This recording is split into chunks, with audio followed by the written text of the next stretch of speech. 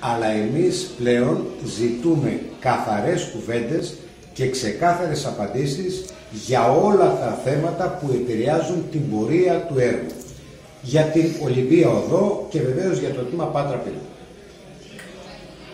Το πρώτο ερώτημα που θέλουμε σαφείς και κατηγορηματικές απαντήσεις είναι για ποιο λόγο έγινε η αναβολή. Για ποιο λόγο και αν αυτή επηρεάζει τα πράγματα που τα επηρεάζει. Το δεύτερο, αν έχει υποβληθεί ο φάκελος στην Ευρωπαϊκή Ένωση για έγκριση ως μεγάλο έργο. Αν η Ευρωπαϊκή Ένωση έχει απαντήσει, γιατί αν δεν δώσουμε απαντήσεις σε όλα αυτά τα ερωτήματα, χρηματοδοτικά εργαλεία δεν υπάρχουν με σαφή τρόπο.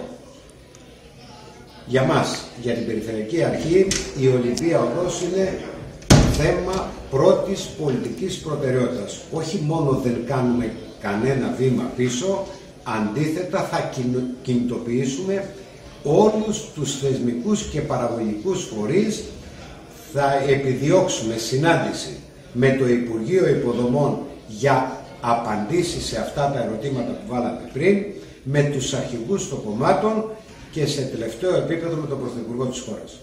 Είναι ένα έργο που έχει ταλαιπωρήσει από την συμπεριφορά της κεντρικής εξουσίας στην περιοχή μας. Είναι ένα έργο που κάθε φορά βρίσκεται και ένας λόγος για να πηγαίνει πίσω, ενώ εμείς θέλουμε το έργο και το θέλουμε ολοκληρωμένο, λειτουργικό και στο σύνολο του φυσικού και τεχνικού αντικειμένου.